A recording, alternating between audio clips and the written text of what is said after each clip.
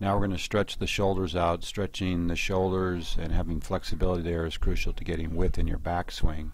So I've got my hand up in the doorway and I just drive my hips forward, getting a nice stretch in the shoulder. Uh, if the doorway is too high, you have to find something else that uh, suits you. Now we're doing a side bend, reaching over with the right arm, and we drive the hips to the left. This gives you a really nice stretch in the shoulder, and it's really good for the golf swing. Now we get real golf specific. We hold on to the door and we drive our hips like we're starting our uh, follow through and uh, of course do this on both sides.